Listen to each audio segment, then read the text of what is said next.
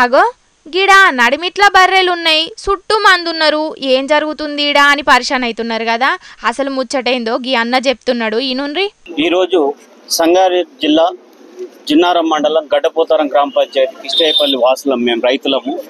గత ఇరవై ఐదు సంవత్సరాల సంధి ఇండస్ట్రీ వచ్చిన సంధి మాకు అనేకమైన ఇబ్బందులు ఏర్పడుతున్నాయి. పొలి ఎయిర్ పొల్యూటు వాటర్ పొల్యూటు అన్ని విధాలుగా ఇబ్బందులు పడతా ఉన్నాం. ఇరవై ఐదు సంవత్సరాల సంధి వారానికి ఒకటి పది రోజులకు ఒకటి నెలకు ఒకటి ఆరు నెలలకు ఒకటి గేదెలు చనిపోవడం జరుగుతుంది. ప్రజల ఆరోగ్యాలన్నీ ఖరాబ్ అవుతా ఉన్నాయి. ఆడపిల్లలకు గర్భస్రావణం. అదే విధంగా మనుషులకు అనేక క్యాన్సర్ రోగాలు. డాక్టర్ దగ్గరికి పోతే మీరు ఇండస్ట్రీ మీ దగ్గర ఉంది కాబట్టి ఈ రోగాలన్నీ వస్తున్నాయని చెప్తా ఉన్నారు.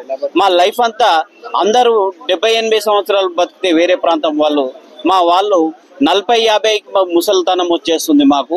ఈ కంపెనీల వల్ల అనేకమైన నష్టం జరుగుతుంది. అదన్నట్టు ముచ్చట. ఫ్యాక్టరీలు చేయబట్టి లేని రోగాలు మోపైతున్నాయట. ఫ్యాక్టరీలకేంచి వచ్చే కెమికల్లు నీళ్ళలో కలిసి జీవాలు ఆ కలుషిత నీళ్ళు తాగి జీవిడుతున్నాయట.